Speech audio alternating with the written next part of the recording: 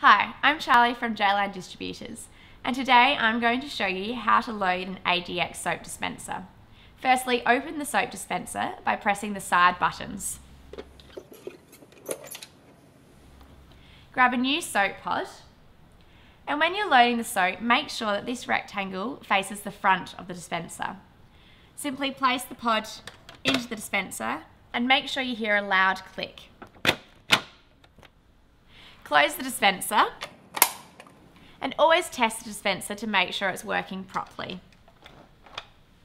If you have any further inquiries, please don't hesitate to contact your account manager at Jayline Distributors.